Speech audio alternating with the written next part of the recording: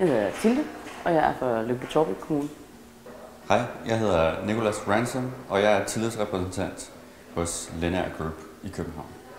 Jeg hedder Gitte Damgaard, og jeg kommer fra ATRA Arkitekter i Holstebro. Jeg hedder Jeppe Langer, og jeg arbejder på tegnestuen BIG i København. Jeg hedder Siv, jeg er arkitekt og byplanlægger og arbejder på CBS som projektchef. Jeg hedder Ture Bundgaard. Jeg kommer fra Kunstakademiets Arkitektskole i København, hvor jeg underviser. Vi, øh, vi arbejder for, for, for medlemmernes arbejdsvilkår.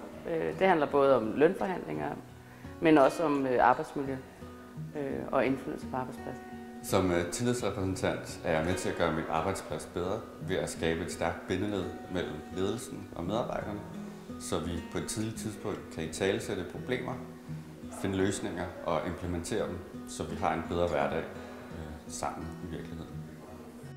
Vi gør rigtig meget ud af medarbejderudviklingssamtaler, hvor vi øh, stiller fokus på de forskellige øh, kompetencer hos øh, medarbejderne, sådan at vi kan få en bedre udvikling og en bedre tegnestue, hvor vi har forskellige kompetencer, og hvor man synes, man gør en forskel. Jeg føler som tager, øh, den måde jeg bidrager til mine kolleger er ved, at de føler sig trygge, de føler sig hørt, og øh, i svære perioder og situationer, der får de støtte fra en kollega, som har adgang til ledelse. Som tillidsrepræsentant bygger man en vigtig bro mellem medarbejderne og ledelsen, og jeg oplever, at der er en gensidig interesse fra begge sider til at få det til at ske.